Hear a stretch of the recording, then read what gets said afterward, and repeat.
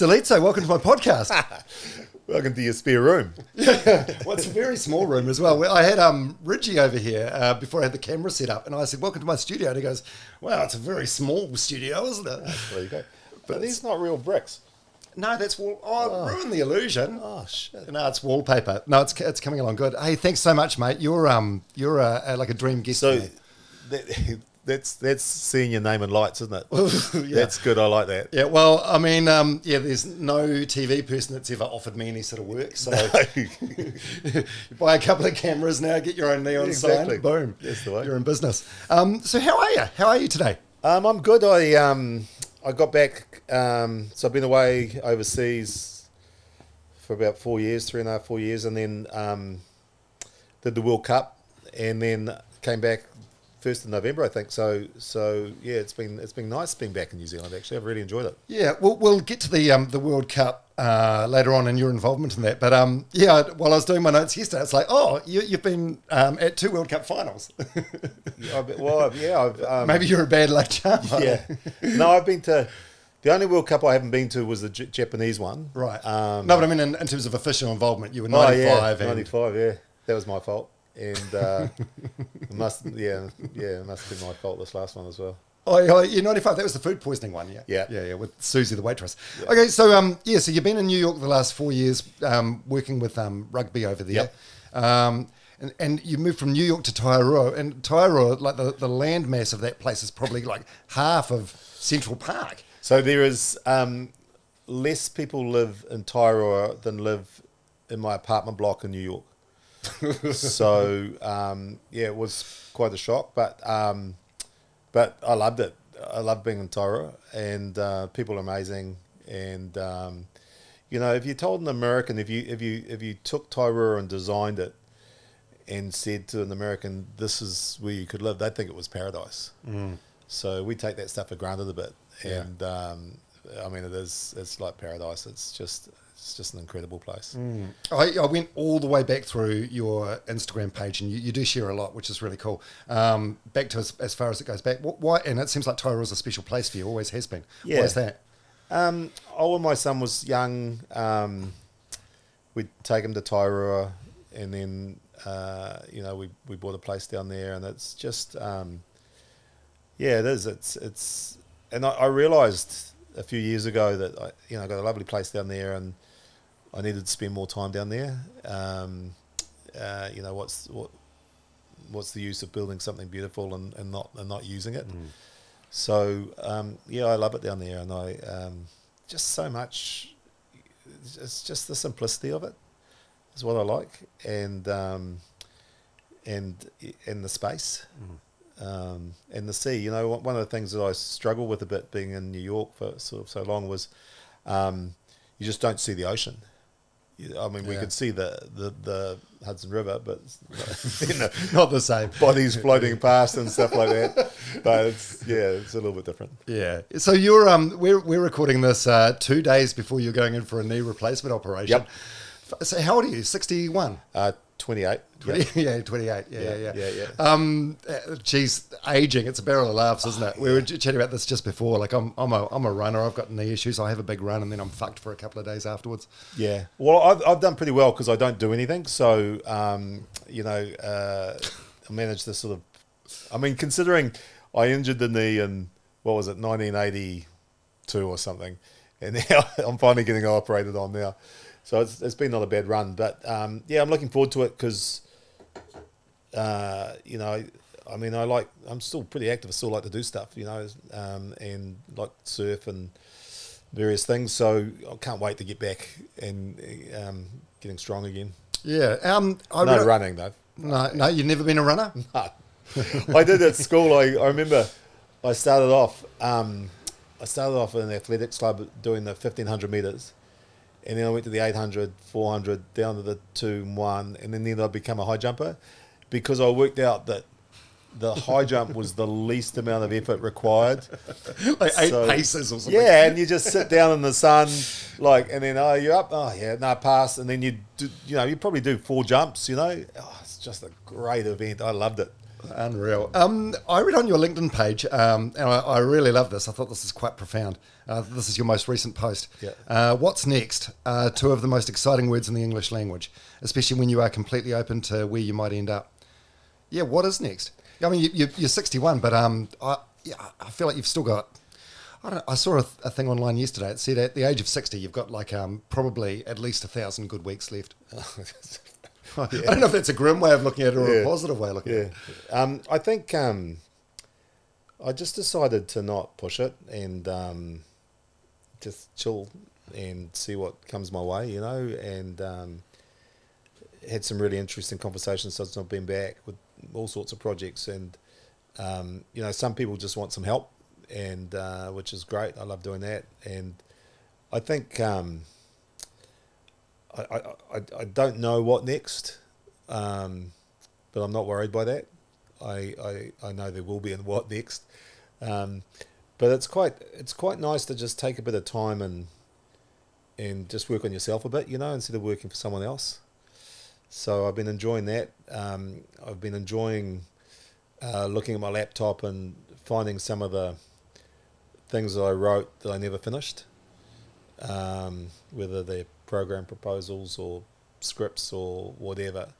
Um, it's been really cool to sort of just have time to finish them, um, because you know when you're looking at your your documents folder or whatever, and you see all these things, and you're like, oh, I never should have, I should have done that. I didn't finish that. You know, it's nice to just get them sorted. You know, so I've been enjoying that, and I've been enjoying pizza.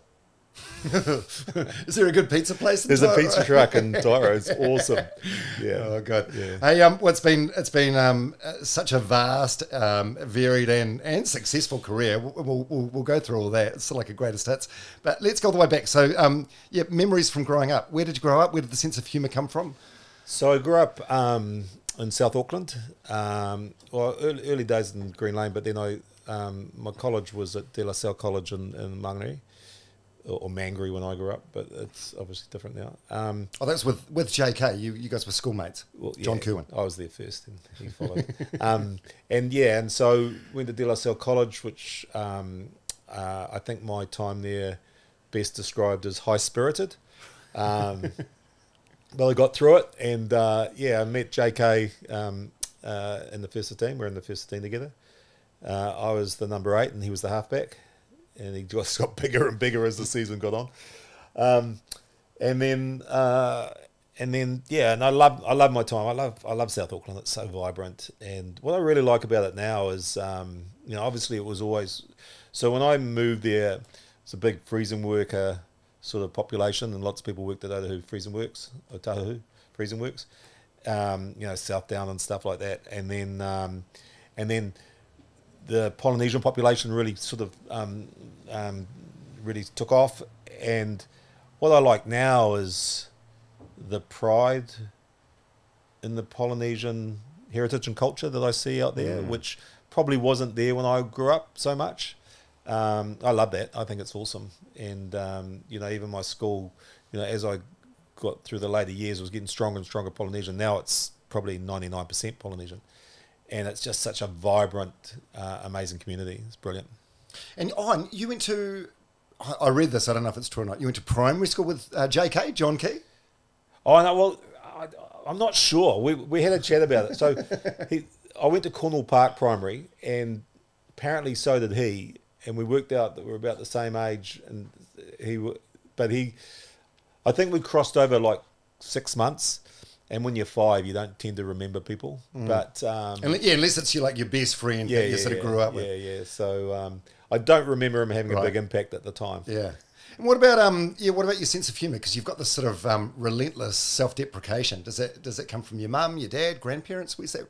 The, Well, Dad's Italian, so chef, um, right? Chef, yeah. Um, so uh, his, his his his he was a very funny man, but his sense of humour was um, uh, different. And um, and mum, yeah, good Kiwi, and uh, you know, again, just a normal family, just a fantastic family. But I think um, I, mean, I was just lucky. I think growing up, you know, I mean, probably the biggest influence for me was watching John Clarke, Fred Dagg. Mm. I just Yeah. used to love him, watching him and listening to him on the radio, and buying his records and stuff like that. Um, what I loved about it was, uh, you know, incredibly talented, but but never the self-deprecating thing I liked because it was he never made out that he was the smartest guy in the room, um, but he was. But he didn't need to tell everyone, and um, yeah, he was he was a massive influence on me. I, I, everyone in my generation, you know, he was he, he was it. We, we had one comedian, and it was him and he was everywhere. Yeah, it must have been nice for you um, going full circle when you were in Sports Cafe and you got to do a version of um, "We Don't Know How Lucky We Are." What a hat tip! I think um, that was probably the of all the things I've done. That's probably one of the things I'm most proud of is that. Uh, I, I, one day I, I, must have been watching the Olympics or something. Something was annoying me about the um, national anthem was just a bit boring, you know. And I was like, we need a new national anthem. It should be, you know, we don't know how lucky you are, we are. And I listened to the record, and it wasn't quite right. It wasn't as I had imagined it. It was a, a, a, like a poem over a guitar strum. And so I rang John Clarke. I'd never met him before in my life. I had, you know, he had no idea who I was. And I said, look, mate, I'm um, Rick So I, I, do a TV show in New Zealand. You've never heard of it. Um, but I'd love to bring We Don't Know How Lucky We Are to life as a national anthem. And he's like, I like the idea. I don't know who you are. Send me a copy of your show. And if I like it, I'll ring you back. So, what episode do you send? Yeah, Jesus, so sent, a lot yeah. of thought goes into that one. All right. I think I just sent him the one from the previous week. And um, and he rang me back, which was cool. And so um, we'd asked Neil Finn if he'd help, and Eddie Rayner if they'd work with Graham Hill on the music, which they did. And then I sort of said to John, I said, mate, I need you to write a new verse at the beginning and at the end to make it a bit more of an anthem. And he's like, cool, I'll give you a call. So he gave me a call about a week later. Here, here they are. And I was like, mm, they're not quite right. And I remember thinking to myself, how am I going to tell John Clarke that it's not quite what I'm looking for? Because, and, and he was so mean. I said, look, mate, we just need to tweak this because we're trying to do an anthem, and anthems are more like this. And, and he's like, get it straight away. You're right. Bang. The next day, you know, came back and gave us the finished version, and um, and then and then I just sat back and let them go, you know. Mm. And uh, I mean, yeah, he is. I was, it was one of the things I was doing over this over the Christmas break, as I was watching John Clarke stuff on um, on YouTube, watching the old uh, documentaries on him when he passed away um, and just a, a absolute genius. Mm. Like like clever, you know. Um, I remember he saying to me, "You do know the song's ironic." I know, I know. That's what makes it funny. But it's, it's um, great. It, it is great though. It makes you. I don't know. It gives me yeah. goosebumps hearing that song. Yeah, it's bloody great. Yeah. Makes you makes you happy to be a Kiwi. Yeah. So um, yeah. So, so why journalism? So when you left school, you became like a like a journalist.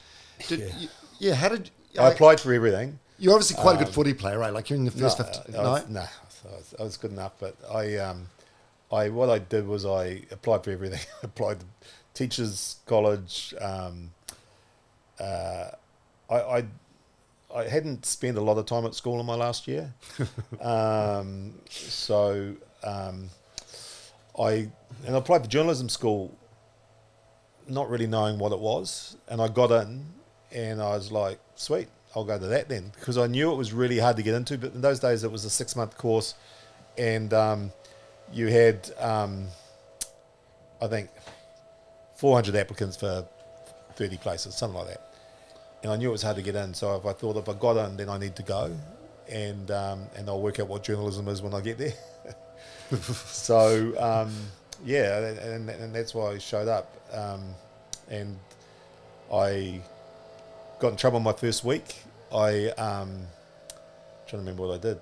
I, I got um, I, I threw something at a cricket game and ended up being locked up. And um, locked up, locked up, yeah, locked up. Yeah, yeah, yeah. I, oh, like a like a Central Districts game or something. You threw. No, it no, it was a it was New Zealand India Test match, and oh, um, oh fuck. I knocked the hat off the policeman. They used to have those big tall hats. yeah, the big pointy ones. And um, I. Uh, yeah, please, kids do not do that at home. That's terrible behaviour. And I, um, so then next week I had to go to court, and and I decided I was going to defend myself. And I stood up in the dock and looked into the gallery, and there's my um, class doing court reporting that day, and I'd called in sick, so it wasn't a great start. Um, and then I did my I did my um, remember they asked the plea and I went not guilty, and the police prosecutor laughed. it's like a, Your Honour, do you mind if we take him out the back and show him the summary of facts? And, I went. Oh, that's not good, is it? That doesn't look good. Could, I could get the electric chair on these summary of facts. So, um, so the the detective inspector who caught me said, "Oh, look, we." I said, "I can't, I can't have a conviction. I need to. I'm going to be a journalist. I'm going to be a sports journalist." And they're like, "Okay, well, let's let's write a speech, you know, and let's apply for um, discharge without uh, conviction under Section 42 of the Justice Criminal Justice Act." So we wrote this beautiful speech, and so I went back in the dock, and I just gave this beautiful piece of oratory.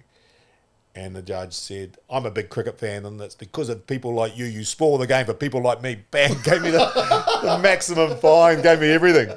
And I looked at the I looked at the policeman, I was like, he's like, oh, fuck, we tried, you know.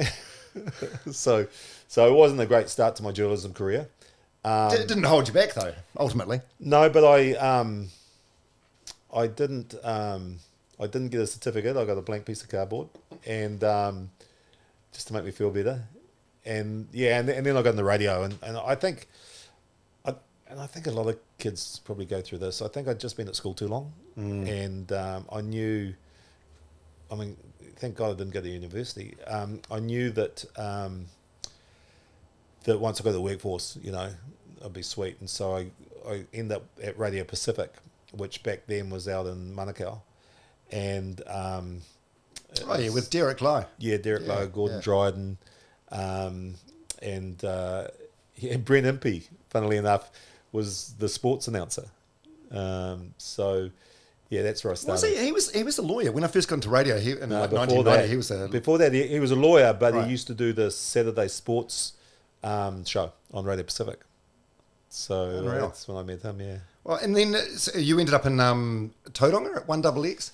Yeah. Um, was that was that a was that a pri- back then? It was like either government owned, like the RNZ stations, or yeah. privately owned. Was that a privately owned one? Yeah. So so I always worked for the private stations. So there was a real rivalry between mm. Radio New Zealand and the private stations, and so I, you know, you, would move around because that was how you got up the journalism ladder. You know, because we used to have grades. You know, so J one, J two, J three.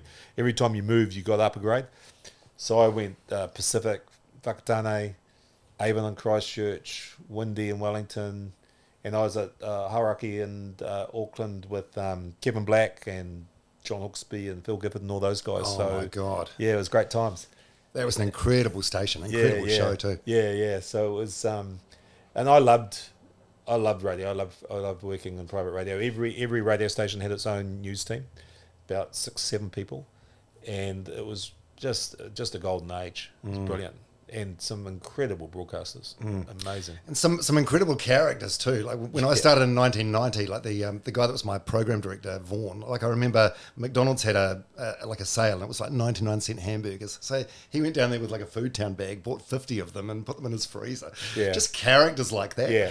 Yeah. Yeah. No, no rules. Mm. And mean, then and then so then you end up on on uh, on TV, right? As, so I went to London. I went to um, I went to because I I couldn't afford to go to Europe, so um, I rang up Andy Hayden and said, "Can you get me a contract?" Um, and he's like, "Who's this?" And um, I said, "I'm I'm, I'm Ric." And he, so he said, "Look, I, will I'll I'll jack you up a club in Italy."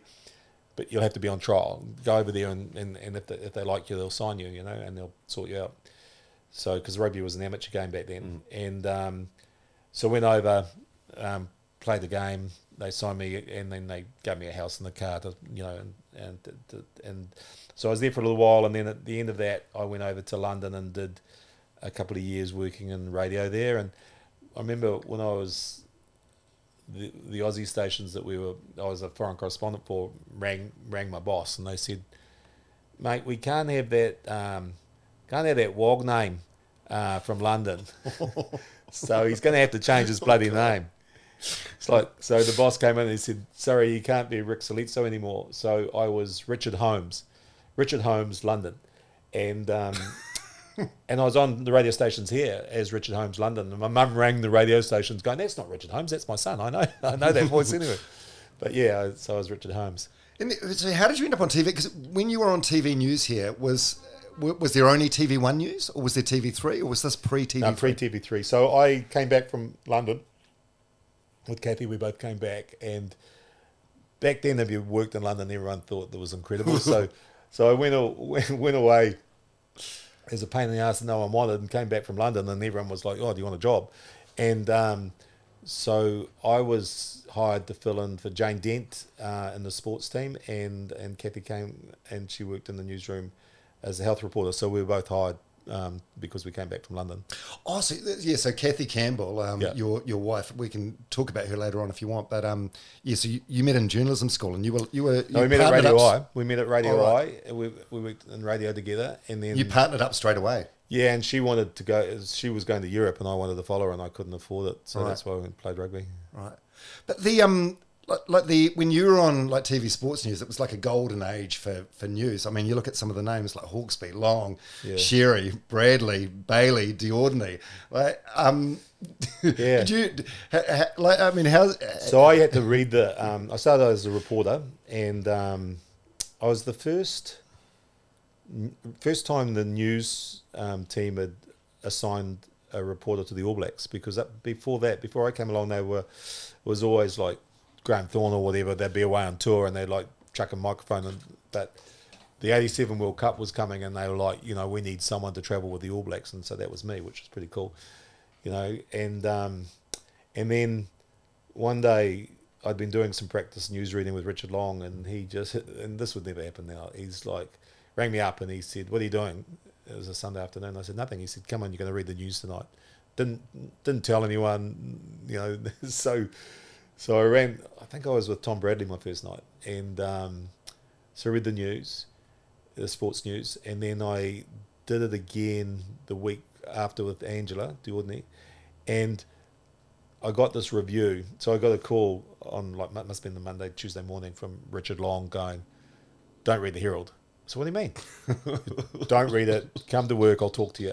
So first thing I did was go to the gates. and Oh, of course. Steal someone else's Herald. Take it back. And my review was, um, and I remember it's burned in my memory. It was like, who is this guy? Rick, Rick Salizzo has a face like a reed rubber tire. Um, it's not so much when he should get off screen, it's how he ever got there in the first place is the question. Like, That's man, savage. that's harsh, eh? and I, I was angry for about, I don't know, 30 seconds. And then I got the giggles. I thought, that, like, that, that like, that, that is really funny, the way that he's really attacked me. And, um, but I carried on. I didn't get any better. My, my problem as a newsreader is I got easily distracted because, you know, you're reading the autocue. And um, so all the work's been done. And it, I don't know, it's five minutes work, seven minutes work. And I'd be halfway through the autocue and my mind would start going. and I was like, oh, yeah. And I remember one time, because I would, on the weekends, I would be the sports sub. So I'd decide what went in the news and read it and and put it together. And there was a story, there's a brief period where the, I think it was the Sunday News, turned into this really weird tabloid newspaper. And they did a story about um, someone had spotted aliens on the Rotorua golf course. So I had a um, Godzilla on my desk. So I, I got sent someone down, a cameraman, and I said, just go and put this Godzilla in various parts around the golf course and just film it, and then you know talk to the people about um, about the aliens. What sort of size are we talking? Oh, I don't know. It would be yeah. I don't know. Like Forty centimeters, like a like a plush toy. Yeah, yeah, yeah, yeah, yeah. And it, they put it in the tree and stuff. So they'd interview someone, and they'd put it in the tree behind them. Like, no, I've never seen any aliens down here. It was sort of like a running gag, um, which you didn't do in the news back then. It's very what you're Yeah. explaining is very crowd goes wild. I know, but I, I, um, so when it came back, we paid the item, and when it came back to Tom Bradley and I, I'd put this Godzilla thing between us on the on the desk, and said to him something like, something like, uh, you know, imagine people thinking they're seeing aliens, they must be going nuts, and then you know now let's have a look at the weather. And I got called into the boss's office. Oh my god, did I get like who do you think you are? This is not a comedy show, you know, blah blah blah.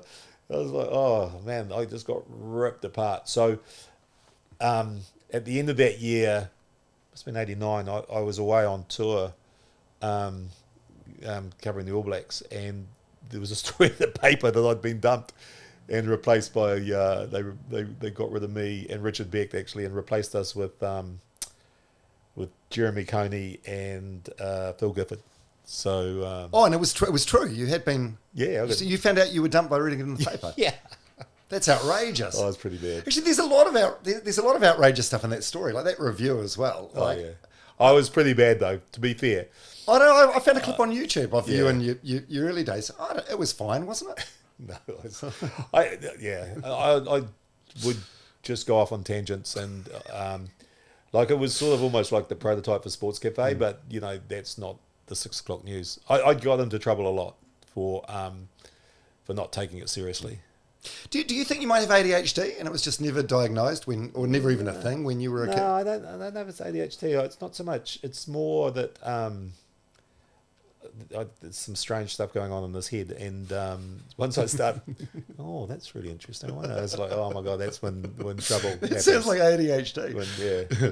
Um, that fact, that's a great story about the Godzilla on the desk. Yeah. Like that's um, there's a, a lot of people that would will be listening to this or I need watching to this. get that. I need to. Um, That, would it be a, would it be in existence somewhere? must do. They, they must have kept um, the bulletins. Um, It's it's fucking groundbreaking because yeah, back then, as you, as you said, like people, you didn't fuck with the news. No. It was half an hour a night, and it was very serious. Like there was no internet then, so this Yeah. was that, and the next morning's newspaper was the only. That source of- was just before TV3 came on. So I think TV3 came in in the end of 89 from memory, something like that.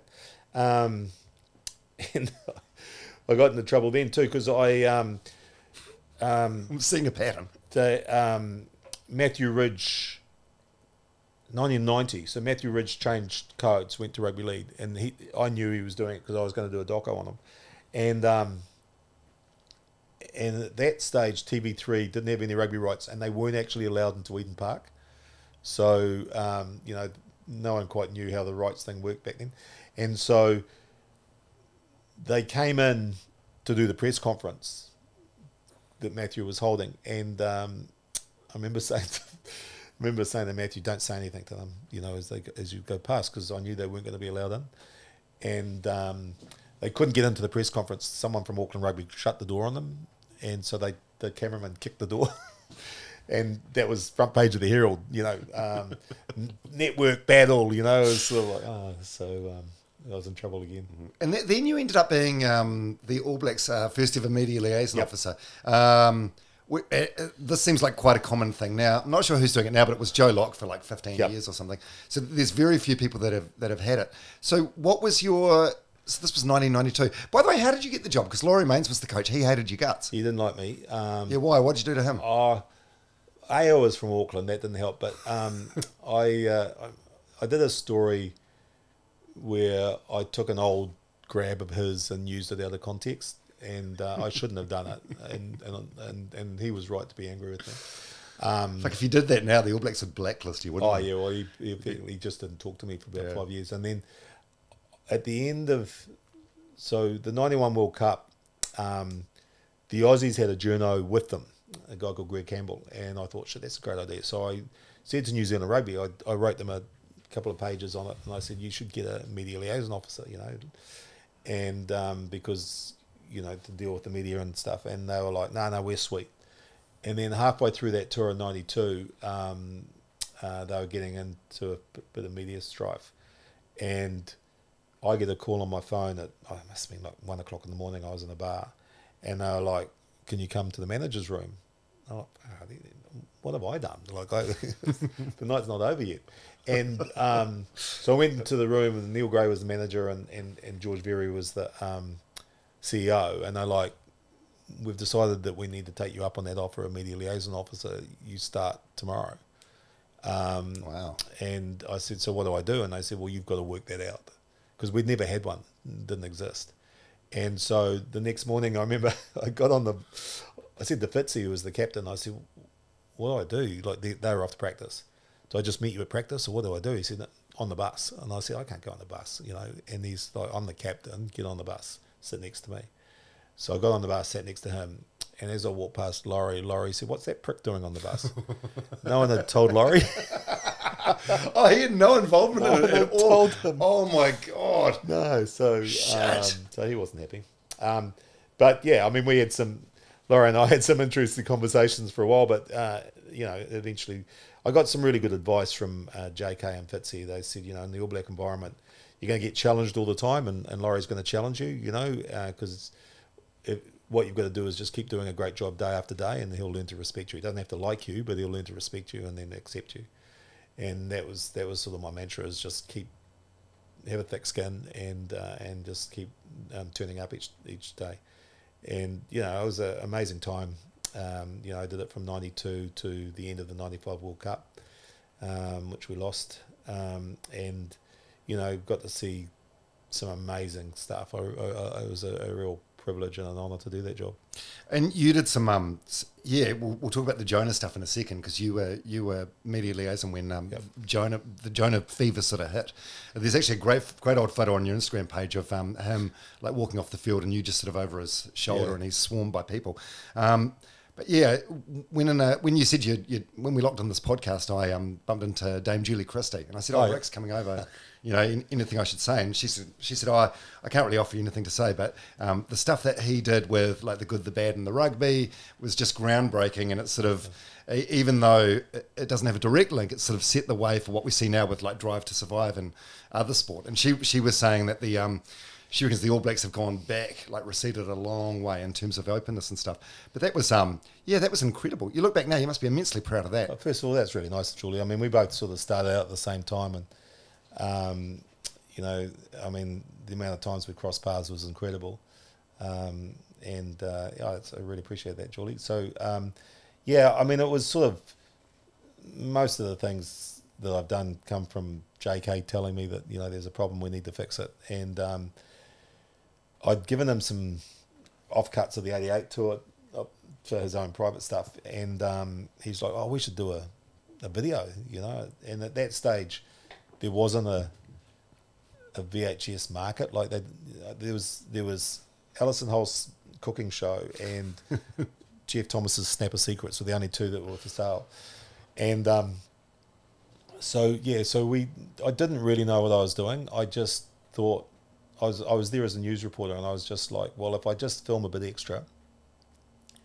and then when I come back, I'll cut it together into a into a, a, a documentary and put it on a VHS. Um, the players were amazing; they just really embraced it.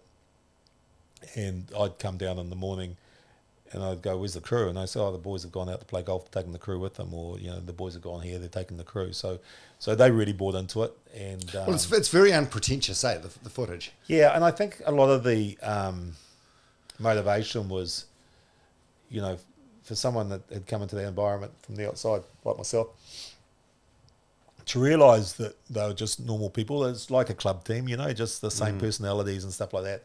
They were just really good at rugby, and uh, and yeah, it was a. I came back at the end of the tour, and, and I just cut it in my spare time uh, with an editor over the Christmas break and then we put it out. And I remember at that stage, the biggest selling book was um, Colin Meads' um, biography, which had done 55,000 copies. And we were well over 100,000, you know. So, um, For the videotape. yeah, the video went nuts. And and people had to buy it out of garages and Whitcoulls and all that sort of stuff because there, there were no there was no shop selling videos, you know. Um, but now, you know, uh, I actually I don't even have a copy of the Good, the Bad, and the Rugby on VHS. It's on, it's on YouTube now. Yeah, I watched some of the footage yeah, the other yeah, day. yeah, yeah. It's it's great. It's really really um yeah, it sort of breaks down that wall between the All Blacks and the fans. They And I feel like that um, wall's back up now. They were great people. Like I was Yeah. really lucky. I, I, mean, I spent a lot of time, you know, and the guys like Fitzy and um, you know Buck and Frano and Foxy and those sort of guys. You know, just just really good people. Really, they had a good balance because you know they were working at the same time, and then the, you know, I mean, back then they were trained Tuesday, Thursday. And, you know, only allowed like three days, I think, before a test match to assemble and stuff like that. So, they were, yeah, they were just good people, and I, I really Yeah. enjoyed my time. Yeah, it's crazy to think because it's. Um, I've had JK on the podcast, and we talked about how uh, during the '87 World Cup he was like bulleted out at people's houses Yeah, yeah. and stuff. So yeah, I mean, obviously, '87 to '92 is quite a, quite a big difference, but it Well, was we still that, very. Just talking about JK, we had so he got injured early in that tour in '89, and um, he's he's got such a great brain. As he's getting carried off, he blew his Achilles. As he's getting carried off, he's yelling at the crew, "Follow the ambulance! Get some shots of me going into the surgery." so the crew took off, jumped in the car, drove behind the ambulance, and they get these shots of JK getting wheeled into surgery and stuff like that. You know. Um, so yeah, I mean that was a real team effort. That was me and him. All those all those videos, you know. Um, and uh, I had no idea what I was doing, so I cut it. It was like two hours long or something, two and a half hours long, um, because I just wanted to put everything in. I had no idea about structure and pace and all those sort of TV terms. I just chucked everything in. It was like a giant home movie. I've, I've heard you say that a lot about about almost every venture you've done. Like, uh, you know, uh, Sports Cafe. I had no idea what I was doing, but it, It's it true. Must just be like um like an instinct you have though. No, it's true. I, I think I like I like putting stuff in order, like in, in an order, and that's essentially what you do in television. Is you get a whole lot of stuff, and you put it in the right order, and the right pace. Pace and structure for me is everything, and I worked out pretty soon that I was, you know, quite good at that, and um, and so, you know, I, that's what I really enjoy. But but yeah, you, it's not a self-deprecating sort of comment. I literally knew nothing about making documentaries when I made the Good, the Bad, and Rugby. I worked it out as I went along. I literally knew nothing about doing chat shows and live shows when I did Sports Cafe until I started doing it. And I think that's that New Zealandness, and you, you, we're so naive sometimes we don't understand the challenge. It's like, oh yeah, I'll give that a go. I'll be able to do that. Yeah. it's sweet, you know. Yeah, Like, how I've- hard can it be? I've just come back from running a rugby club in New York. I've never done that before, you know. So, um, but it's important, I reckon, to not be like have a little bit of fear because that that gets the adrenaline flowing, but not let that um, that fear stop you trying. Um, I say to people, you know, like the first episode of Sports Cafe, it was so bad, and I walked off the set, and the crew wouldn't look at me, like so. I'd look at the camera when they go. no one would look at me except we had this one producer working with us, Alan Thurston, who was a genius, thirsty, and as crazy as I was. And he looked at me and he gave me the thumbs up and he said it was shit, but there's something there. And I was like, yeah, you're right. There's something there. You know, we, let's let's let's build on that. Um, so you, you've got to start.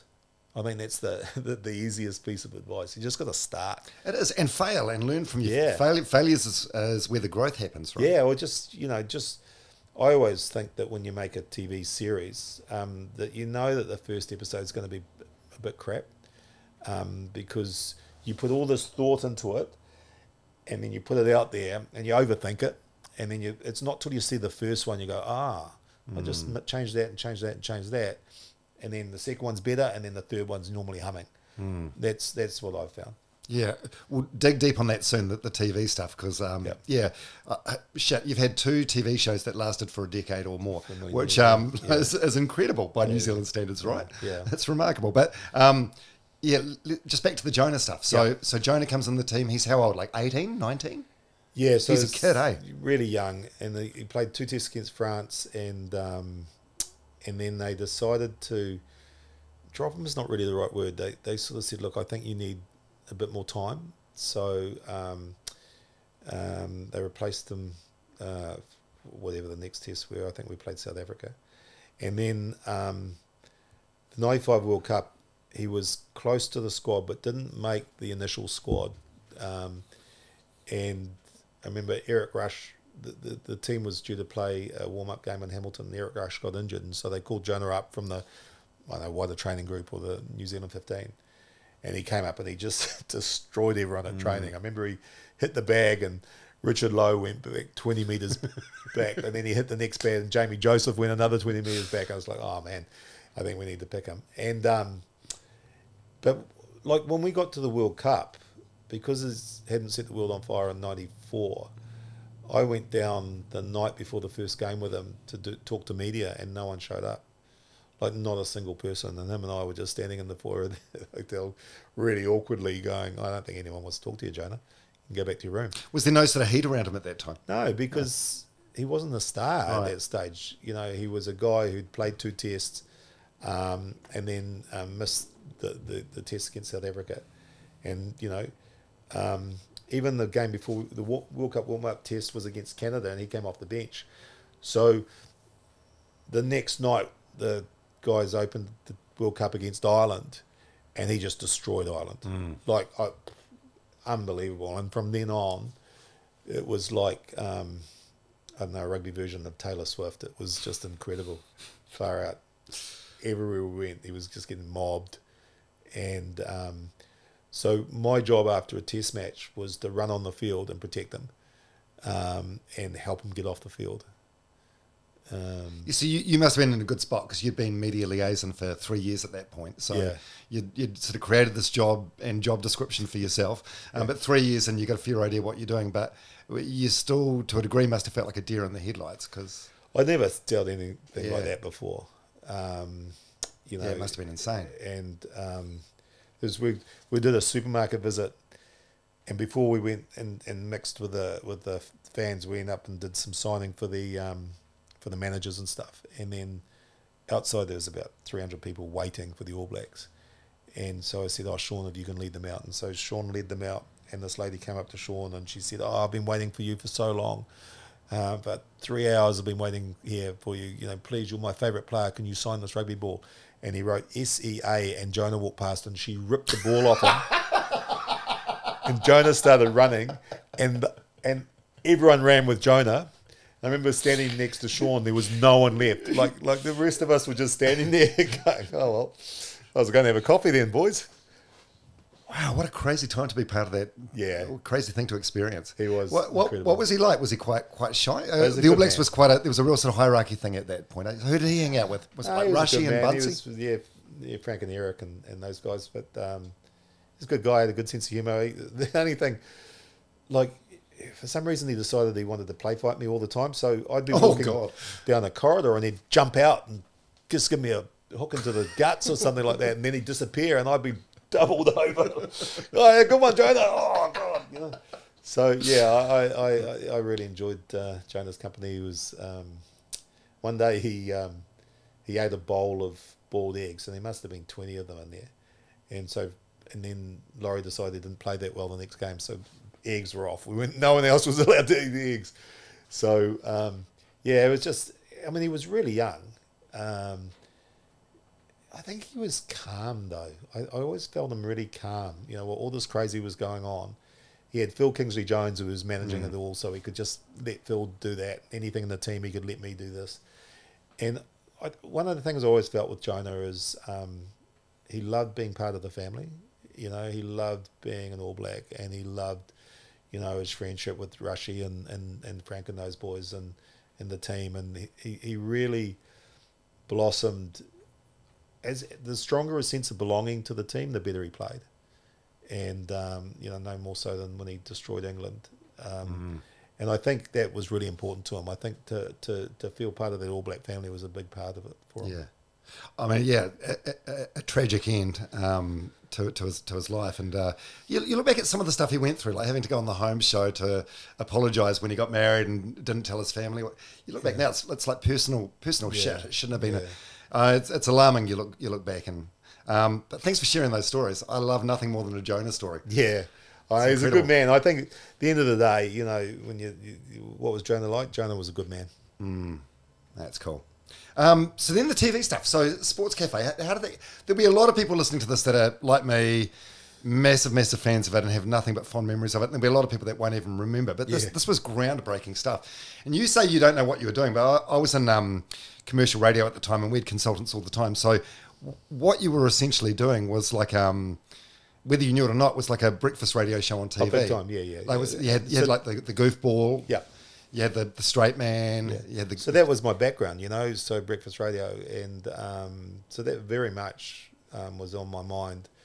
Uh, we created it because, um, again, you know, JK and I having a couple of beers, and we're talking about how um, we never really got to see the players express themselves on TV shows, you know, because um, and we wanted to create that sort of touring sort of type environment. We, you know, it was really loose and stuff like that. And initially, it was going to be J.K., me, and and Zinny, um, and then JK couldn't make the pilot show. I brought in a um, Tanya from Radio B, and the only person I knew in the Warriors because I got JK because he was a Warrior at that stage. The only person I knew in the Warriors other than JK that was available was Macca. So I rang Macca up and I said, "Do you mind um, filling in for the pilot?" And I remember he walked into the makeup room wearing normal clothes and came out with a suit from the 1970s. Don't know where he found it. And he changed, at that moment, he changed what was going to be a serious, relaxed show into what it turned into be. And um, and then JK rang me up and said, mate, I'm really busy. I don't think I'll do the first few shows. And I said, oh, don't worry about it, mate. We're, we're sweet. We'll, we'll use Macca. And um, He was a phenomenal talent, wasn't he? Yeah, yeah, Just incredible. I, I, I was at that age, uh, I suppose, in my early early twenties, mid twenties at the time. Me and all my mates started sort of talking like him. Oh yeah, Same I sort still of see it today. I still see people, a, a lot of people. Um, um, you know, even sometimes when I listen to the, some of the ACC guys, I Mm. think, oh, they sound like Macca. You know, um, yeah, massively influential, and um, you know, like a just a genius around timing and all that sort of stuff. He, he sometimes he put zero thought into it. Sometimes he put you know three percent thought into it, but um, he just he used to sit behind me on the All Black bus, and um, he used to just crack me up all the time, just you know, just abusing everyone and taking the piss out of everyone. So I knew he was funny. I didn't realize it was that funny, and then he just became really annoying. Yeah, so your, your role on Sports Cafe was sort of like the, the anchor or straight man, whatever you, Yeah. the, links man, whatever you want to call it. Um, and you always looked fucked off with him. Were you, or was that an oh, there was sometimes I was, yeah. I mean, he he thought that the show was funny because I put so much effort into it, and he ruined it. He, he thought that was the concept of the show.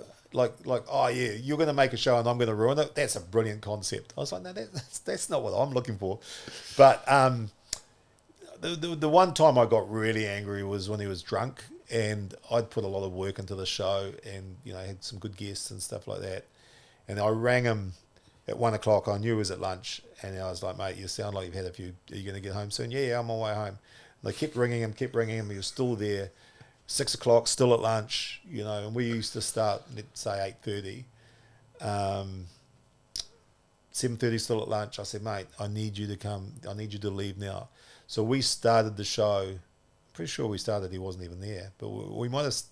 He might have been there two minutes before we went live on air. He walked in and he was so drunk, and uh, I'm like, "What? Are, what are we going to do here?" And he had this because he was always trying to sell his Nude Day T-shirt. So he grabbed a Nude Day T-shirt, put it over his big jacket. He was looked like the Michelin Man, and um, and then I, the way my brain works is like he's really drunk.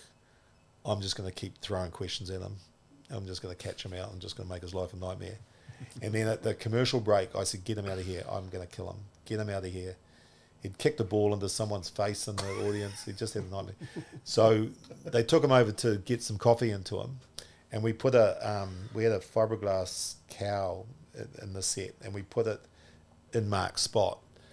And just as we came back from commercial break, I looked over and there's Macca arguing with the cow. I was like, "What are you doing in my spot, mate?" Like, so after the show, everyone knew to get out of my way. So I'm like, upstairs, mate.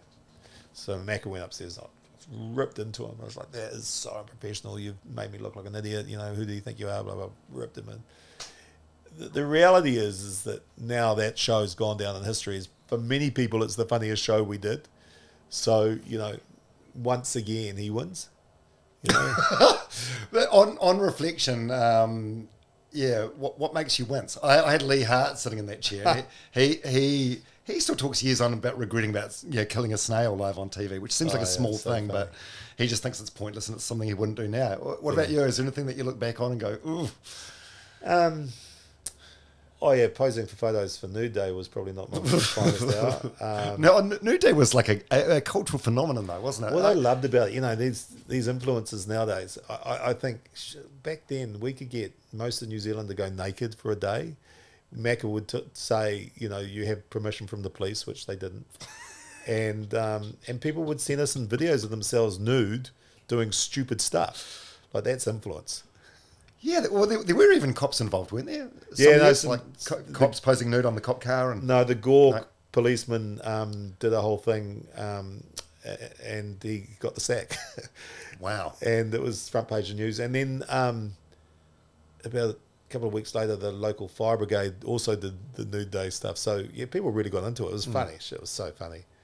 Oh, it was just an incredibly well done show. And, But now we get all these lawyers and doctors coming up to me at functions going, you know, in uh, what in 1998, uh, the Nude Day tapes. Do you still have those? Because um, I seen an entry, and I'd prefer if no one ever saw it. You know, well, the hard thing now is to be finding like a, a player to play the tapes on, even if they were still in existence.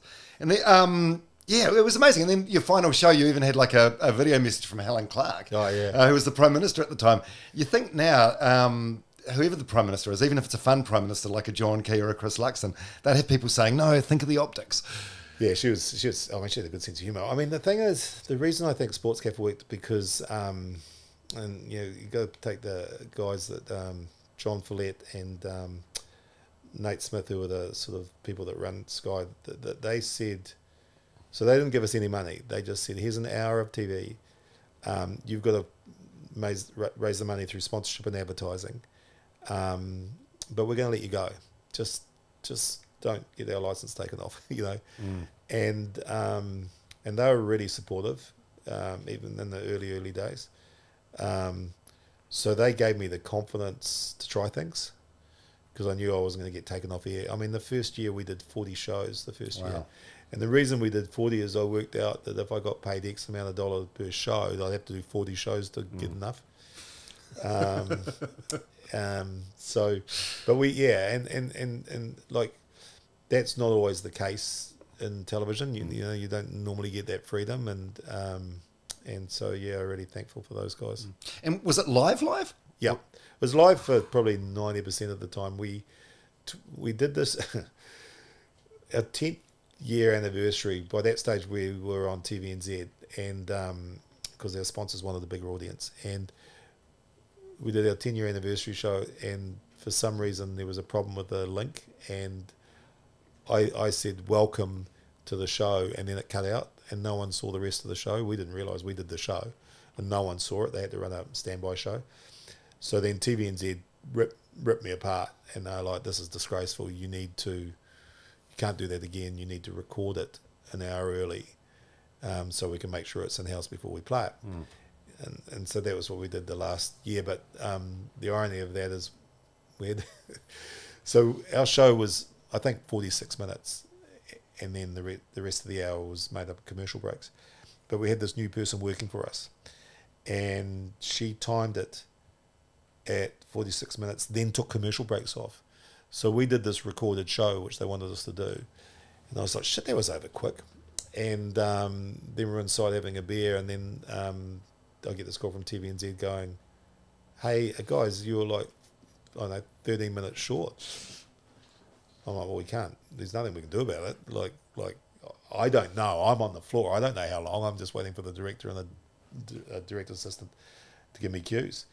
So yeah, so that didn't work that well. Oh my god! But um, like I'm thinking, uh, there was another sort of master of New Zealand TV at the time, in my opinion, Mikey Havoc. Um, and he did Oh, a yeah. li- he did a live show once, which was just diabolical Yeah. and disastrous. So there's um, He came, yeah, him, him and Newsboys started, I think, this the year after us, and it was a good time. I mean, we'd watch their stuff, and um, you know, Graham Hill had, come from BFM, so he knew them pretty well, and um, there was a bit of crossover. And then Graham went and worked on um, uh, Jeremy's. Um, can't remember. What oh, like eating media lunch. Yeah, something. eating media lunch. Yeah. Yeah. Graham was one of the guys on that, one of the geniuses behind that. So it was it was nice. It was a nice little crew of Yeah. people. Lots of you know Paul Casserly and stuff. They were really smart guys, you know. So there's a lot of sort of um, uh, you're sharing each other's success. Yeah, yeah. I mean, yeah. I'm just thinking as you're, you're speaking. So there was the core cast of um, Sports Cafe, but then this just that peripheral cast, which was phenomenal. You know, the Human Cannonball, Eva from Bulgaria. Yeah, yeah. Um, yeah, that guy who we mentioned Hart, before, yeah. Lee Hart. Uh, it's incredible. You're um, yeah, you're quite the talent spotter. Right? I'm interested to see how you deflect this one because you've made so many careers.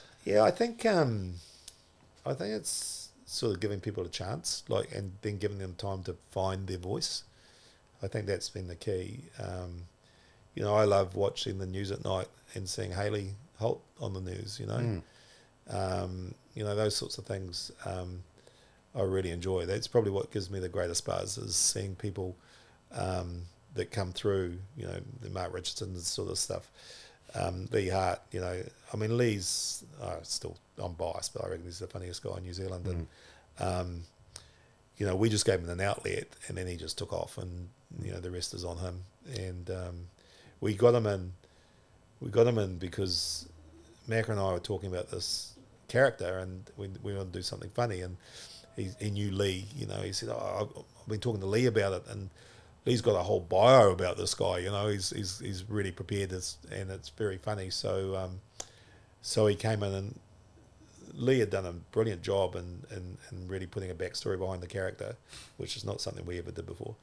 And then about um, a week later, two weeks later, um, uh, Norm Hewitt had, had done it. Had to do a very tearful apology on TV. That's right. He, he got drunk and ended up um, smashing a ranch Something slider like to the wrong hotel room or something. Yeah, I can't remember. But Yeah, it was awful. But then we, then Lee Hart did a parody of it, and he did an apology because he said, "Look, you know, I'm not really a snail racer. I don't really know how fast these things can go, you know." And so, um, I knew. So the next year, I was like, because Lee was working for a Greenstone at that stage production company as a researcher, and I was like, "Mate, you need to come full time and be with us." So um, the first three or four weeks, he made up a different name every time. I remember he was doing a, a um, piece to camera at the viaduct, and he goes and he signed off Ric, Ric, and he turned around. The boat was called Crescendo, Ric, Ric Crescendo, you know. but then I said, mate, we just need a generic name. Let's, let's just call you that guy, and let's just let's just go from there. And um, yeah, I mean, he is so clever, you know. But so is, you know, the Cannonball and Eva the Bulgarian. I mean, they were really smart people. They knew their characters, and um, they knew, um, you know, it's really playing. You you, you take some of your own qualities and you you exaggerate them into a character, and that's why it's always funny for me whenever I go into meetings. You know, serious business meetings. People see me as the guy that presented Sports Cafe, not the guy that made it. So they think I'm an idiot, you know. So I'm trying to get something really important across, and they go, "Oh yeah, where's Eva the Bulgarian?" You know. So um, you know, and we haven't talked about Lana. I mean, it, without Lana, Yeah, yeah. Lana's um, dry humour. Um, I heard her at a function before she worked for us, and I was like, "Oh man, she." Everyone thinks that she's like this and she's like that, and that's funny. And so when we had the opportunity to put her in there, um, she was only supposed to do a couple of weeks, and she did like you know, twelve years. Um, yeah, she was sort of the glue that kept us together. Oh, she played that role particularly well too. Like sometimes she'd Yeah. side with you, sometimes she'd Yeah. side with Marc. Because I think what would happen with me is I'd get angry with Marc, and then he'd suck me in, and I'd get caught up in his stupid ideas.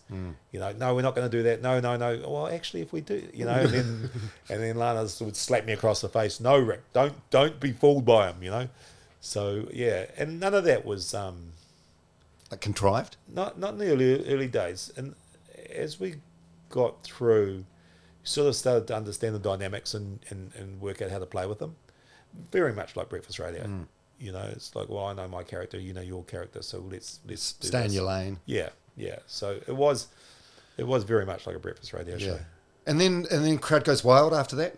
Well, I'm, I'm brushing over Sugar Shack. You don't Yeah. want to do Sugar Shack was cool because um because I got it wrong. right. I, I, you, know, you know what? I've got a really good memory about um like pop culture and TV. I don't remember this at all. No, Sugar no. Shack at all. But I it's, mean, is this the only fail you've had? Oh, no, there's a few. Uh, there's yeah, Sugar Shack, which um, had a great group of people. Uh, I don't know why I couldn't make it work. Um, but I was start, starting Crowd Goes Wild at the same time, and I was spreading myself a bit thin. Um, and uh, I also did a show. I did a show called The Bradley Bunch, which which we did one episode of, and um, the the idea was that news has changed. So we brought Tom Bradley back, um, which was actually uh, Jeremy Wells' idea, and and then we put everything around him. So we had Paul Ego as a cons- he was a consultant, and we had Carly Binding who was his female presenter because you couldn't do the news without a female, and we had a band.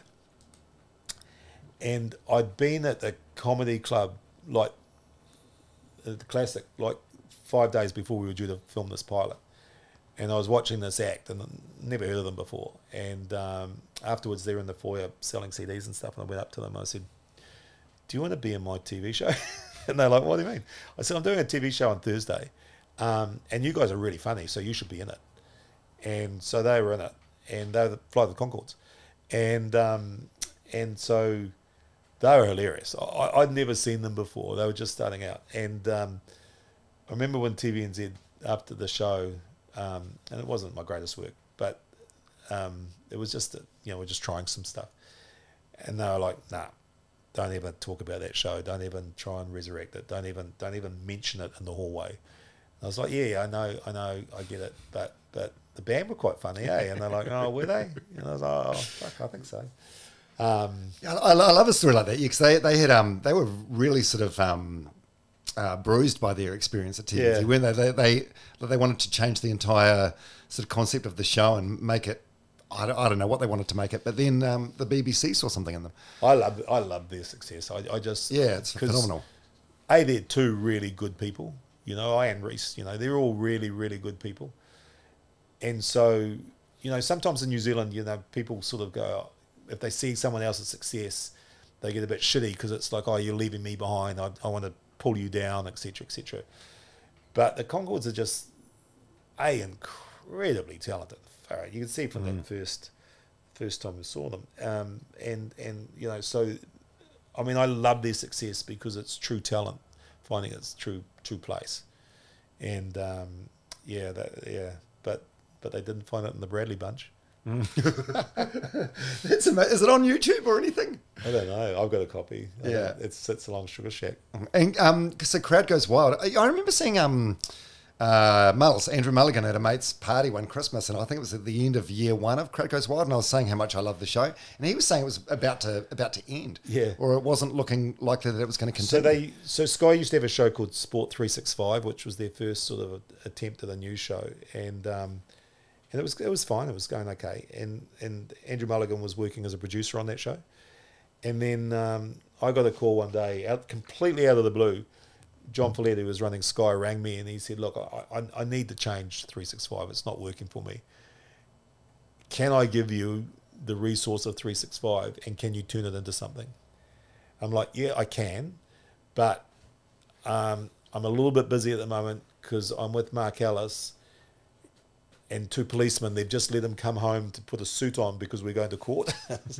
so he was going to court. oh, was this for the selling some ecstasy? Yes, yeah, yeah. yeah, right. Um, so, um, so, so that I remember it vividly. You know, um, so we we, we we he- we got through that, and then um, and then I came into Sky, and I was like, I got a whole lot of people for auditions, and because Miles was working for Sky, I asked him to sit in on the auditions.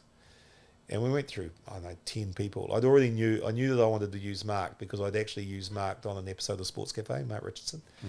But um, I wasn't planning on using Andrew. And then uh, I looked through all the editions and I was like, man, Andrew's better than all. He's the best. He's so good. And the chemistry between him and Mark will work really well. So so we put them together and um, and then what was that, 2006?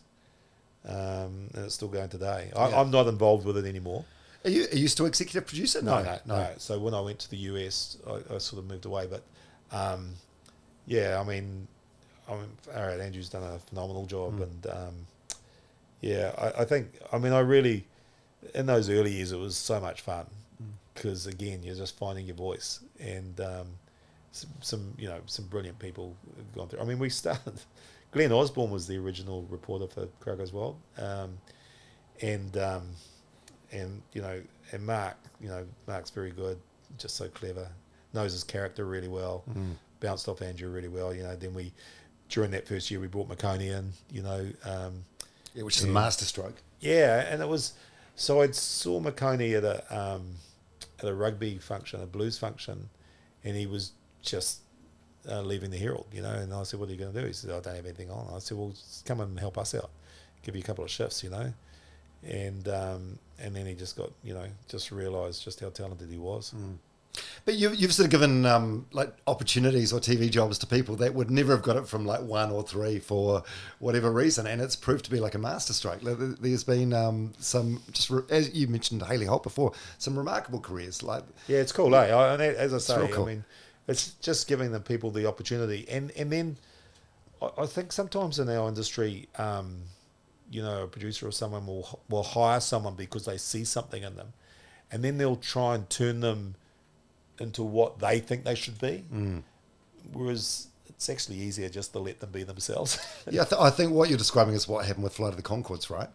Yeah, Tried to mold them into what they thought. Of. I think it happens with lots of people. Yeah, you, yeah. You, you go and someone sees you've got some talent, um, and this I'm talking global. They see you've got some talent. They go right. We're going to give you this show. Here's your script. This is what I want you to say. This is how I want you to act. This is what I want you to be. Whereas my strategy is a lot easier. It's like, okay, can you come in and just be yourself, and I'll just sit back and watch. Yeah, because I've, I've had Mark Richardson on the, the podcast, and he he talked about um, we talked about the sketch that he did with Stephen Fleming. Oh, yeah, and yeah. he his That recollection is that that's when he came onto your radar. Yeah. because you thought that, Yeah, that right, sketch with right. Stephen Fleming was, was funny. Yeah, That hilarious. funny. Yeah, yeah, So awkward to watch. yeah, yeah, yeah. Brilliantly awkward. But that's the thing about Mark is he understands his character really Mm. well. So he knows he knows why it's funny, so he can replicate it. You know, because he's like, "Oh, this is what I do really well. I can play that role." So every time he gets that opportunity, he comes in with a one-liner. Um, he knows his character, and that's I think that's Mm. his, he does well. Yeah, fuck. We've talked about a lot of high profile stuff. There's there's something um, that I want to talk about. It's a book that you've done, which is probably Oh, uh, not very high profile. Uh, I've got the book right here. It's called "I Know This to Be True," uh, which is amazing. It's basically um, it's a beautiful coffee table book. Came out 2016. I don't know. Yeah, 20, it sounds something like that. Yeah. and it's um it's just beautiful photos and yeah glossy photos and uh, sort of uh, interviews with like 60 well-known New Zealanders and not so well-known New Zealanders. Um, it's kind of like a, a podcast, Yeah. long form podcast pre-podcasting. I so I worked on that with um, a, a mate of mine, Geoff Blackwell, who's a incredible book publisher, and he's just he's just really good at that stuff. And um, There you go, deflecting again. yeah, and I did the I did the interviews and stuff, and we sort of created the format as we went, which was we had the piece of art um, that I know this to be true, and we had to traipse that around everywhere. Yeah, like a massive picture- oh, canvas backdrop. it's ridiculous. It just got so sick of carrying that thing. It was such a great idea. And then everyone, I'd, I'd do this interview with them about their values and about what they knew to be true in their lives and stuff. And then I'd get them to come up with a word that summed up, you know, their values and what they thought. Um, and we'd take a photo of that word on their body, and then we'd get them to sign the canvas at the back, put the word up, and they auctioned it for Play It Strange. You know, because a lot of it was for Mike Chunn's Play It Strange. But for me, um, like it was a gift because I got to speak to 60 incredible people and have a really sort of private, intimate conversation with them about their about what was important in their lives. How long was each chat? Um, uh, probably 40 minutes to an hour each one. Um, you know, I, I was lucky to grab um, Colin Meads just, just before he passed away, actually, and he, he was a very good friend of mine, and it was a really special time. And um, yeah, I mean, they were all, you know, all of the everyone left a mark on me, and I learned a lot from doing them. I did JK and Macca. Um, uh, I think they both made me cry. Actually, I know Macca did. And then um, Did they? Can you, yeah. you can't remember what? Um, I think Macca we were just talking about love, Mm. and um, yeah, I mean, it was such a great gift. And then one of the people I spoke to was a lady, Elizabeth Ransom, who had sold her business to Google for I think two hundred fifty million dollars. You know, she, Wow. she'd done incredibly well, and she was an amazing, amazing story. God, I just really loved talking to her, and I interviewed her in, over in Palo Alto, and in California, and at the end of it, she sort of challenged me a little bit. She said, well, "What are you going to do next? You know, you're doing this book. When this is finished, what are you going to do next?" And I'm like, "Oh." She's like, because the media world's changing. You know, television's changing, um, so you can't just trot out Sports Cafe again. Like, oh bugger. um, and so I came back from when that book got published, and I started to really think about what next. And um, as a result of that, I started building. I built an app, a, a platform really, around fan engagement, around how to because again, JK and I talked about there was a real problem getting, um, you know, twenty year olds to watch live sport, and you know that was so important to us, live sport, and so we sort of built this thing, and it, it was it was testing really well, and so I thought, okay, well, let's just go to America. I'll just move to America. So, um, and it was all because of that conversation I had doing the book, and I ended up in Austin, Texas, and um, spent a, a year sort of trying to get things off the ground, and then COVID hit, so um, that sort of put an end to that. Mm. Oh well, still in the still in the scrapbook of ideas. Yeah, yeah, no, mate, it's very much so. Yeah, now you mentioned Colin Colin Meads in, in that book, "The I Know to Be True." The, the, I've actually got that highlighted here. This is one of my favourite parts in the book, and I think when I when I read the book when it first came out, I thought it was kind of savage and badass. And in the time that's passed, I've gone through my own mental health stuff, and I actually find this paragraph kind of sad now in a way.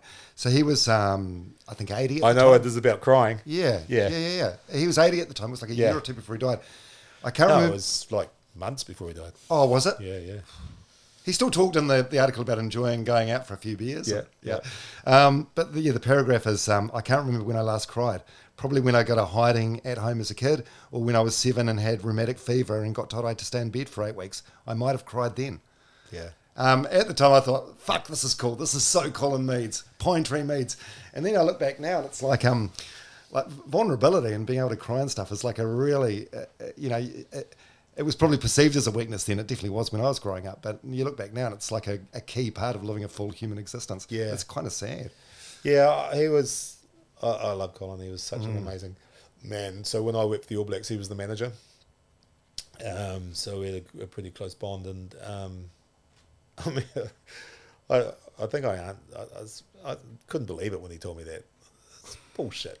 Three quarters of a century without crying. On, it's mate. insane. You're like no, and it wasn't. It wasn't a um, when he said it. It wasn't a contrived comment for effect. He genuinely thought because I, I, asked that question of a few people, and he genuinely thought about it. And he went, "Oh Jesus, oh, fuck, oh shit, I don't know." Um, or probably when I was, you know, five or six. I was, Fuck. Colin, It's crazy. but it just we don't know. It was a different time, you know. And Yeah. he, he- you know, he he had a he had a tough man. He worked hard. You know, he Hmm. he, he, he would tell me about, um, you know, how his his father bought some land up the road, and he had, him and Stan had to cut cut all the shrub, you know, to do after school. And he said to me that um, he loved going to rugby because it gave him a break from cutting shrub in the farm. You know, give him a break from you know rugby was relaxing compared to the, all the work they had to do on the farm. Um, yeah, just an amazing human being. And how, do you cry much? Are you much of a crier? Have, have you found you cry more and more often as you get older? I'm half Italian, so you know there's plenty of emotion there. Um, yeah, I do. I, I, I um, you know what I, I, I find sometimes I, I tear up a bit when I'm really grateful for things. You know, if I'm looking at an old clip or something, and Yeah. I was so lucky to have that opportunity to make that or work with those people or you know and that that will bring a tear to the eye and the other thing that um, apart from stubbing my toe the other thing that um, when you were seven. yeah that that, that if, if I see something where someone's got incredible talent oh, it's just fuck, yeah, it's just you know that just blows me away I- it's I reckon it's the thing one one of the things I love most is seeing people with talent I just love just sitting back and going, "Oh my God, that person has just got something special." I'm not, and I'm not not, not talking about rugby players and stuff like that. I'm talking about just you know seeing someone do a song or or or put a show there. Like I love The West Wing and Aaron Sorkin, and quite often at the end of that I'll be in tears, and I'll I'll be in tears not because the show was was something that, that got to me. It's just because I, I'd been tears going, that was just an incredible piece of work. I can't believe someone managed to make that piece of art for me, you know, and um, and th- those are the times where I just yeah, I'll, I'll just a tear will come to the eye, and, and I was just oh my god, that's just incredible, you know, Wow. Yeah. It's funny, uh, yeah.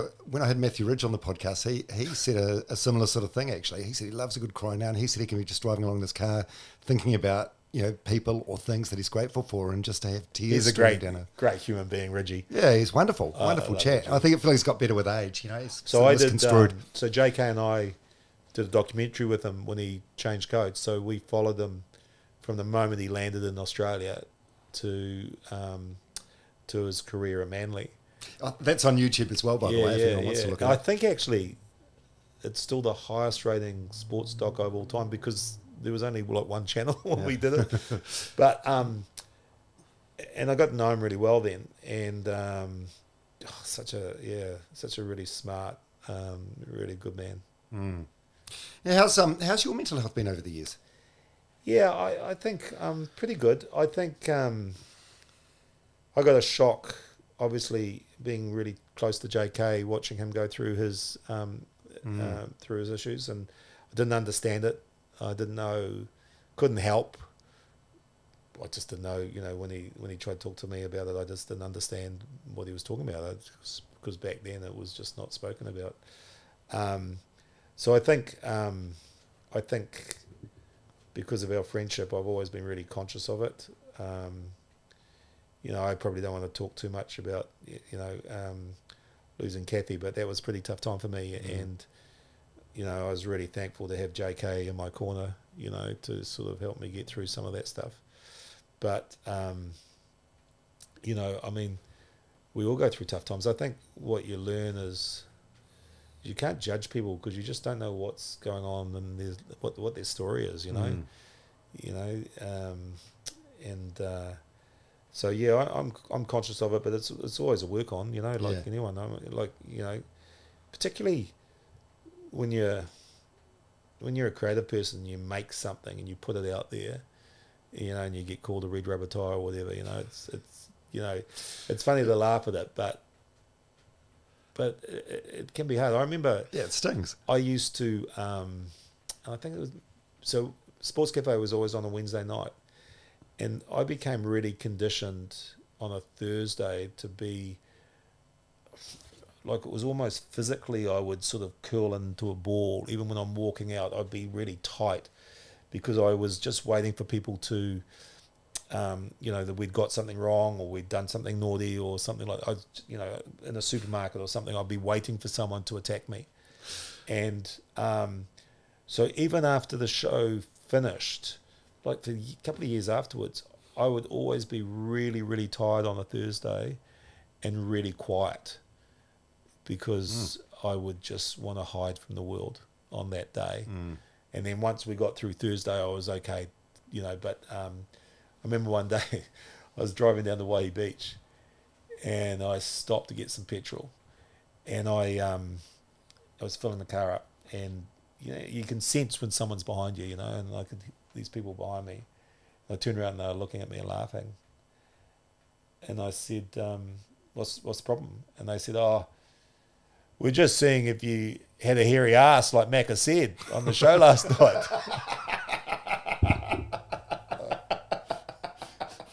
Because Macca decided because I'm half Italian, I must be hairy.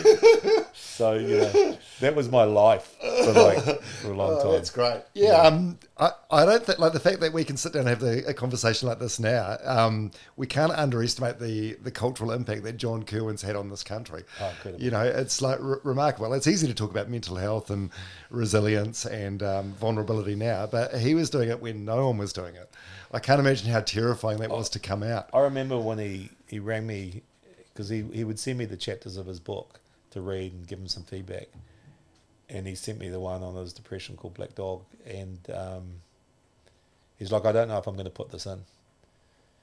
And I read it and I was like, oh my God, why didn't you tell me that this was happening? I didn't understand because we were working together.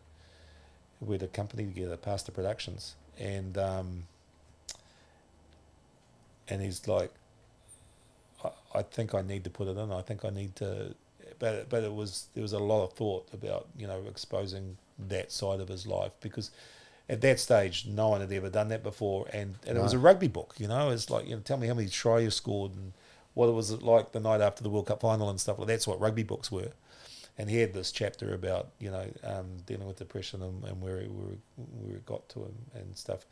But I know and I'm sure he's told you this that you know, when he goes out, I mean, I, you know, obviously we go out a fair bit. People will come up to him constantly and go, "You've saved my brother's life, my Mm. my father, my husband, you know, particularly males, you know." Um, and Yeah. you just wonder whether, you know, his All Black career was really designed to give him the profile to really do his good work. Yeah, the platform. Yeah. Yeah, I, I mean, yeah, he's he's he's normalised it. Um, I do worry about like the likes of him and Mike King and uh, my friend Jazz Thornton as well. Like Yep. they, they they take a lot on, and then you get people coming coming to you not with just with positive stories like that, but also wanting help or advice. but Um, the good thing with JK is he's written a beautiful book, All Blacks Don't Cry, Mm. um, which is what I, you know, when people, because people, a lot of people still come to me and say, well, I'm struggling, you know, um, can you give me JK's number? And I go, cool, you need to read this book first, Mm. you know. Um, um, yeah, it's, I mean, I, I agree with you that, that if you're going to be that person, you know, like JK is, then then you take a lot of stuff from other people. Mm. You know, you carry a lot of stuff from other people. But I I've seen him up and down the country do his speeches and talk to people and stuff like that. And oh God, it's it's captivating. it- it's life changing, you know. Yeah. And um, yeah, I mean, I'm really proud of him. You know, I'm really proud. He's a good friend, and just really proud of Mm. the impact he's had on New Zealand. yeah. It's incredible. Um, you, you mentioned um, Kathy before, and you said you, you don't want to talk about that in too much detail. Is, and I've noticed on your Instagram there's not a lot there about, about that as well. Uh, uh, you, you just prefer to keep it private, or is it just too hard to talk about still? I just um, always been a big believer in my private life being private. You Yeah. know, I, you know, you you give that character that, that people watch and, and happy being that character and stuff like that. But um, you know, so what? When did I start in TV? Eighty six. So it's a long time, and and you just can't give them everything. You know, um, Mm. you've got to keep part of your life for you. Um, and and I've always felt that my family life is, is really mine for me. And um, you know, I was really, you know, when it was tough, I was, you know, I loved all the support we got from everyone, and, and, and people were amazing. Um, but I've always been quite private. I, I was just just who I am. I, as I say, I play that role and do that stuff, but um, that sort of stuff's really for me. Yeah, oh, I, I respect that fully. Coming from like a breakfast radio background, it's the same sort of thing. Like you, you're looking for personal content because the more of that you give away, the more of a bond you form with the audience. Yeah. Um, but you know, me and JJ, we did talk, talked a lot when we were married about our fertility issues and stuff. And once you've, once you've given something away, you can't take it back. It's tough, eh? It's I, I remember talking to, you know, advising people when they were looking at doing, you know, magazine stories and stuff about their relationships and stuff like that. It's like, oh, think twice about it, you know, Mhm. because as you said, you know, once you give it to them, that's it's gone. Yeah. Are you have um have, have you been in, in love since then, or have you seen anyone since then, or I've seen lots of people. I just walked down the road. There was like thirty people walking past me. Yeah, again, private life, you know. Okay. Yeah, so um, Yeah. So, oh, sorry. Yeah, I'm, I'm just. I, it's probably. I, I'm. I'm lucky. I guess I'm 51 now, and I've never lost anyone. Super. I've lost friends to cancer Yeah, and yeah. suicide, unfortunately, but I've never lost. Um, both my parents are still alive, Yeah. and I've never lost anyone that's really close to me. But I, yeah, I'm probably projecting in that. Um, yeah, I can't imagine like how difficult it is to start start a new relationship and the guilt you feel, or even though it's what your your former partner would want. it's, It's a tough. really good try, but I'm not going to answer the question.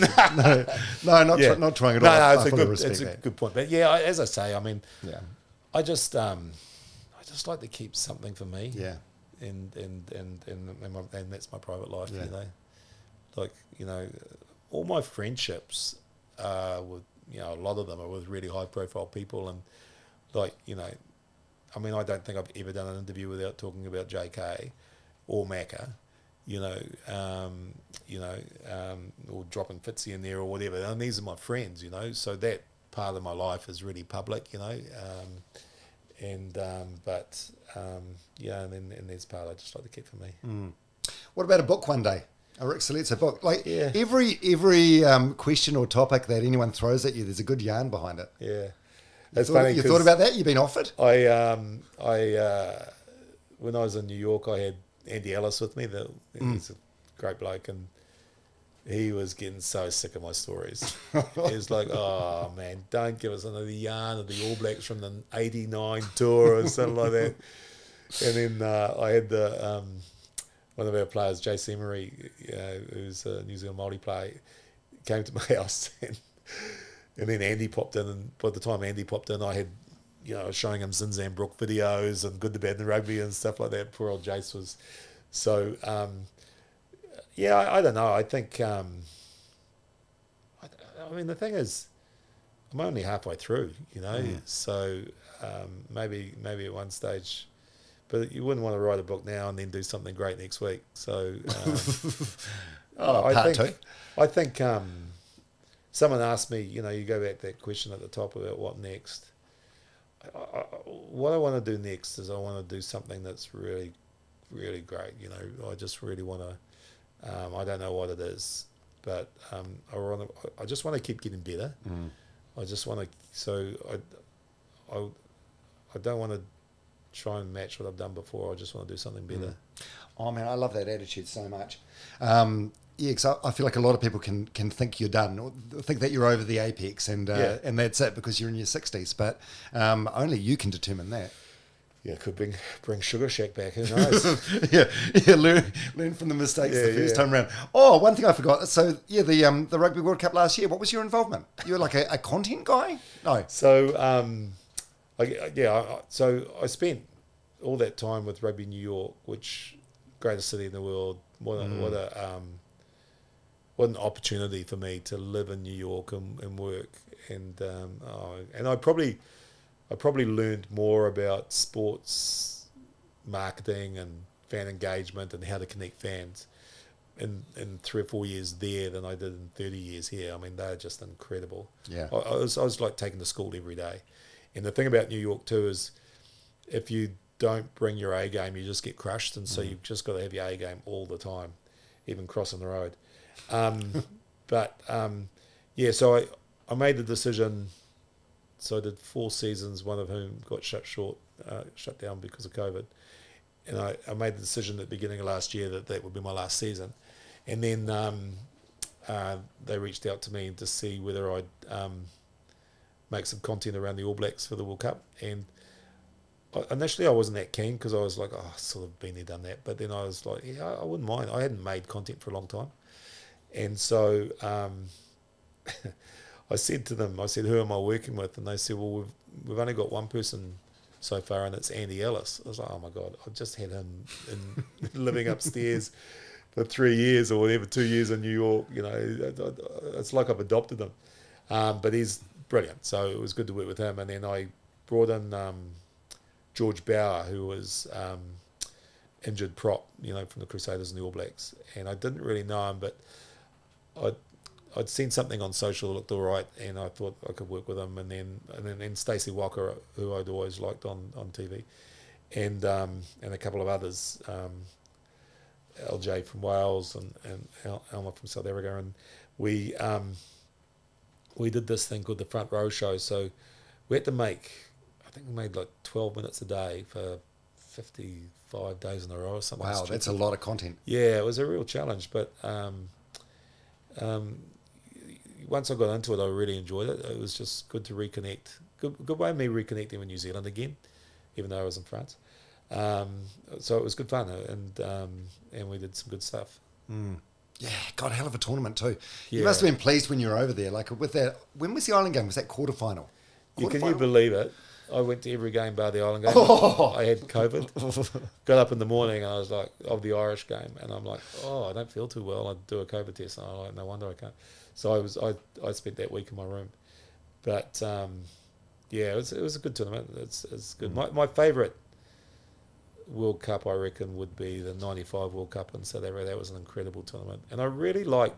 Um, not sure why, but I really liked the 2015 tournament in, in England, in the UK that we won. I thought that was a fantastic tournament. Oh, Richie's last game. Yeah, just mm. it was a really, really well run, good crowds, um, had a really good buzz about it, and and the '87 World Cup was just brilliant. I mean, people forget that the first game, you know, when JK scored that try against Italy, um, I think there was like 17,000 people there. It was like a midweek game, and it was raining and it was shitty, and they, they, they did a little. Um, opening ceremony with Waka Nathan running out and cheerleaders slipping over in the rain and stuff like that. But um, um, it was it was it was really interesting to watch it unfold because no, the the Six Nations didn't want a World Cup, and they eventually got talked into it. So starting that, it was you know like starting Sports Cafe. I mean, they had, no one had a clue what it was going to look like, and uh, and it really built momentum during the World Cup um, because of the way the All Blacks were playing, and it, it's, there were some exciting games. So I enjoyed the '87 World Cup, but um, yeah, and and uh, I was enjoying the last one until the last sort of ten minutes. Oh, it was good though. Any any same as the um the uh, the other one we were talking about, the ninety five one. Any any any final where it's a close game. I think that's all you can ask for, right? Yeah, yeah. well, you can ask for ones that you win, but they were good. No, I mean, I mean, I've always enjoyed New Zealand South Africa clashes. So, um, you know, being old and being brought up on that stuff, um, been amazing, and and and and it, you know, it was an, it was an ama- It was funny because I'm sitting in the stands watching the final, and um, there's these six South Africans, and you know, not quiet people when they're at a rugby No, game. no, very passionate. and and um, and I can't help myself, so I just drop in a little smart ass comment, and I thought they were going to kill me, and then I, you know, I, I got half them on side against the other half, and then so we're talking at half time, and they're like, oh, we're such and such, and we play cricket and blah blah blah blah blah, and they're like, do you know Grant Elliott? And I'm like, yep. No bullshit, you don't know Grant Elliott. And I said, I know Grant Elliott. Ring him. So they rang him on the video chat. Do you know this guy? Hey, it's Ric. That's New Zealand. We all know Oh, each that's other. amazing. Yeah, yeah, yeah. It's amazing. So talking to Grant Elliott at half time because um, they played cricket with them in South Africa. Unreal. Yeah. Hey, that's been um, uh, 90, 90 minutes of your time. Do you enjoy doing things like this? You enjoy reflecting, or you're, you're too busy looking forward to what's next? No, I, I um I enjoy it. I, I as I say, I'm really grateful. I'm really grateful because for everything I've done, someone's given me that opportunity. You know, whether it's the guys at Sky or you know Geoff with the book, or um, you know someone said, you know, you can do this. Um, sometimes I've had to bash the door down a little bit, but um, and and just be a bit pushy. I mean, when we did the Matthew Ridge documentary, um, uh, at the, the people at TVNZ didn't want it, and um, so I went to John McCready, who was running TV2, and he said, "Look, just make it on your credit card. I'll get it sorted while you're away." And so I came back, and they had like fifty grand on my credit card, and um, God. they could have easily gone, "No, we don't want it," um, but they said, "Yeah, yeah," and they cleaned my credit card. I didn't get paid a cent for it, um, but I got a clean credit card. Um, and this was like late 80s, so 50 yeah. grand is. 50 grand's a house. um, so, um, yeah, I'm- just really grateful. I'm just really grateful that, um, you know, people just believed in me enough to give me an opportunity to, to be creative. And um, you're the same. You- that's all you want. You just, when you're creative, you just want to be able to create. And someone's got to pay for it. And someone's got to put it on for an audience, you know. So, um, you know, my job's to create, but someone else got to pay for it, and someone else got to put on an audience. I mean, it's a bit different now. Like you're doing this here, so I think that's really exciting. I think it's a really exciting move for people now is that they can create their own shows. They're not stuck by going to have to pitch to a broadcaster, but but it's more competitive than it's ever been. Like so, you're trying to get an audience on YouTube where the greatest collection of content of all time lives. So um, so it's competitive, but if you can find your niche, it's just brilliant. It's what a, what a great time to you know, I mean, when we when we did Sports Cafe, I had to buy a studio. You know, when we did it at the bar, and it cost me 800, 900 grand to buy a studio. You Oh. know, and I just backed myself that we would stay on here long enough to pay it off. so it took about five years, six years to pay it off. Um, Oh my God. but um, but now you know you know for a fraction of that you know you, you're able to put a show together you know and how exciting is that Yeah, it's great. I, yeah, I mean, no one knows where the where the future of media is going to go, but uh, I just feel like it's going to be in micro audiences. So instead of having Yeah. like a TV one, TV two, Yeah. TV three with big fat audiences, it's just going to be far more fragmented. yeah yeah and uh, like having been there when it was easy you know where if you put something on TV1 and everyone watched it um, to to you know making content for the All Blacks where it's competitive um, but you just need enough I, I always think that um, when you make something if three or four people tell you they love it, then then you're onto something. yeah, you can build from that. Yeah, that's all you need. Just that sniff of success. Yeah, just three or four people, and not your family. All right, Ric Salizzo, it's been, um, I, I, I feel like I know you particularly well from years and years of, of um, you know, TV, um, but I do think this is the first time we've met, but I've um, thoroughly loved sitting down and picking your brains. It's been a real honour and I, I can't thank you enough for the opportunity. Oh, it's been fun, mate. I really enjoyed it. Nothing better than talking about myself. no, I lo- love your work, love the modesty, and I genuinely can't wait to see what you do next. yeah, me too. Yeah, good luck with the knee replacement. All right, thanks, mate.